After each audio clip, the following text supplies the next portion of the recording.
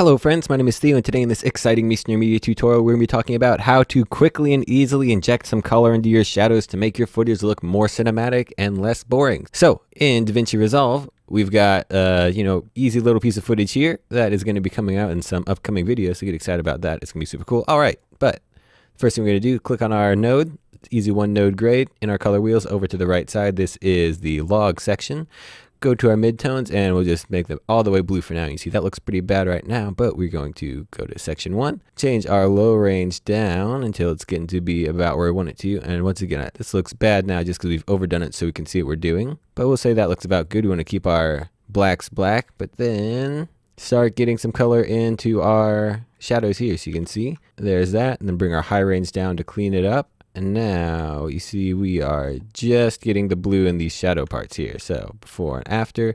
So we're getting some nastiness there, but we can just reset our midtones. Just bring it down a little bit. And you can see we've got a little bit more depth in the shot.